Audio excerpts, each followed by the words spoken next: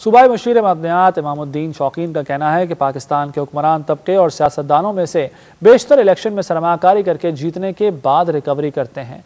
वह हैदराबाद के मकामी होटल में यूथ पार्लियामेंट लीडरशिप कॉन्फ्रेंस से खिताब कर रहे थे। उनका कहना था कि मुल्क के नौजवान सियासतदानों से नाराज़ है और उनका शिकवा बजा है।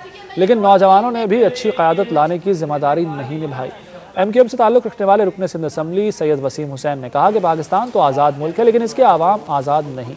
कोटा सिस्टम खत्म करके मुल्क में मेरिट को फ़रोग दिया जाए तो मुल्क तेज़ी से तरक्की करेगा। यूथ पार्लियामेंट के चेयरमैन रिजवान जाफ़र ने कहा कि सिंध में तालीम की तबाही के ज़िम्मेदार हम सब हैं। कॉन्फ्रेंस में बेहतरीन तकारीर करने वाले नौजवानों को शील्ड भी दी गई।